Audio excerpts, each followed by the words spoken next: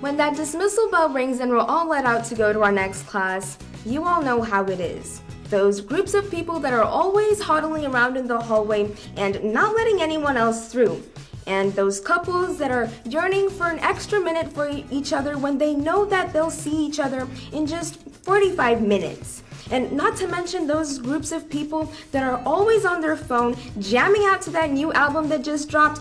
Have y'all heard the new Harry Styles song that just dropped? I know I did, but all jokes and songs aside, we've all been there before, and we've also all contributed to these issues. And so, while we may find them really annoying, we've implemented a new way for us to make it easy to remember these rules.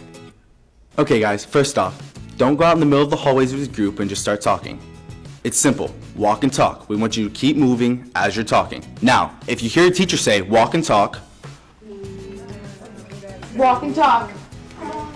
That just means that she wants you to continue with whatever you're doing while you're going to your next class. Now, if we all actually stay to the right side of the hallway, this will make things running a heck of a lot smoother as you go to your next class.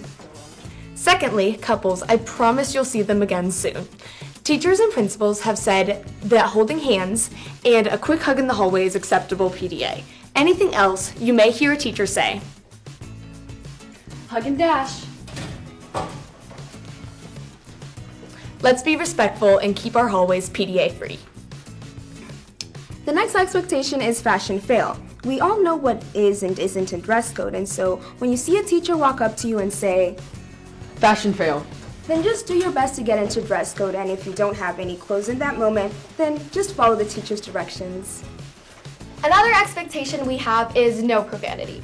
In our society, schools, churches, and courthouses are perfect examples where no one uses profanity, and our teachers will have a unique way of addressing the situation when they see it. Dude, what the f? Where the f were you last night? Rephrase, please. And remember, students from Seven Lakes come from a variety of communities who may be offended if they hear their deities being used in profanity. So next time, refrain from using any god, prophet, or religious figure. Just remember that if you lose in your hallways and you hear a teacher saying rephrase, just keep our hallways clean. It's Texas. It's really hot outside and really cold in the school. And though cozy hoodies are a perfect remedy for chilly classrooms, hoods, hats, and beanies are not allowed in school. If you're seen walking by a principal wearing a hood or hat or a beanie, they might say, Hey, hood's down. please be respectful and just take it off. Lastly, stay classy is a catch-all phrase that reminds us to take the high road by doing things such as Hey! Oh, hey. such as not yelling or opening doors for each other. Hey Owen, stay classy. So just remember, stay classy, Seven Lakes.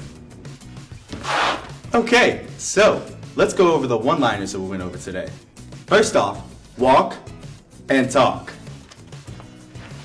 Hug and dash. Fashion fail. Rephrase. Hoods, down. And lastly, Stay classy, Seven Lakes.